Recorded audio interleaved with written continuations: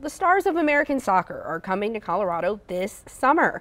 The U.S. women's national team will play Korea at Dick's Sporting Goods Park in Commerce City on June 1st. This is one of the final matches they'll play before leaving for the 2024 Paris Olympics, but it'll also be a first. That is the first match for their new coach, Emma Hayes.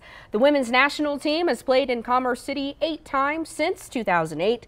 They're unbeaten in all those matches, seven wins and one draw.